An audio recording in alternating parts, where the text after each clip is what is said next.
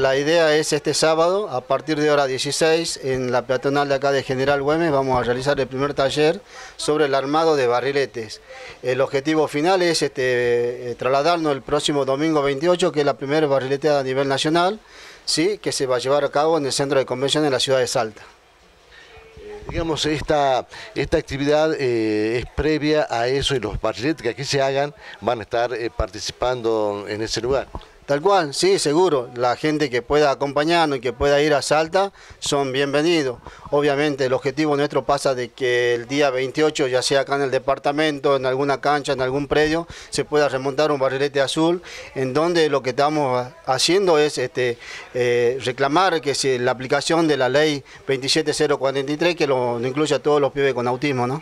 Bien, ¿qué es lo que tienen que llevar, lo que quieran participar, lo que quieran sumarse y apoyar en este caso? Sí, nosotros lo que le decimos es que se acerque con el papel cometa, piolín, este, pegamento, plasticola, cinta y bueno, y también si tienen una caña que la lleven porque nosotros estamos buscando caña para llevar y colaborar con algunos elementos por ahí de algunos pibes que no puedan llevarlo. Así que bueno, pero si pueden llevar todos los elementos, bienvenido sea, ¿no? Ustedes le van a enseñar a hacer las cometas. Tal cual, nosotros eh, esta vez fuimos convocados por la gente de Familia TEA de Salta y ellos allá en Salta están este, realizando los talleres en distintas instituciones. Entonces ellos eh, vienen justamente este sábado a Paraguay, así que ellos son los encargados de enseñarle de la confesión del barrilete. Bien, la idea es que eh, se hagan sentir de alguna manera en, pedido de que esta ley se ponga, se apruebe. Tal cual, está reglamentada, sino lo que, lo que pasa es que no, se la está aplicando.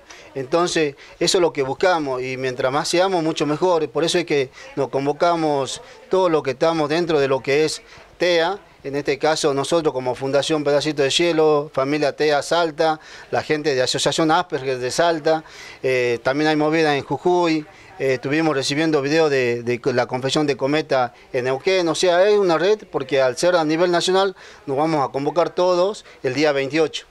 Bueno, eh, ¿qué dice esa, esa ley que no se está aplicando?